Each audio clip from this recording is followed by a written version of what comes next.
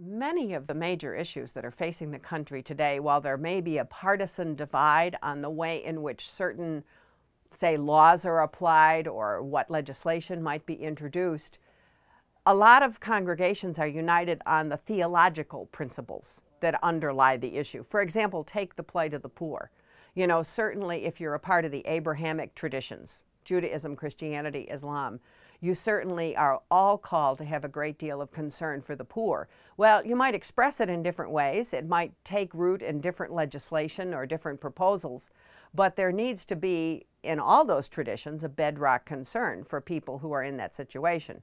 So it seems to me that uh, a religious congregation can point out that the differences can be bridged. In fact, that would be a very helpful thing to do in today's partisan environment in Washington. In terms of getting your story out to the media, the first thing is understand it's not just your story.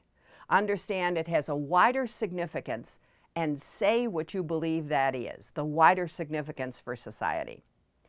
Secondly, since we live in Washington, D.C., and it's a political town, if there's any way in which your story intersects with the political order, use it.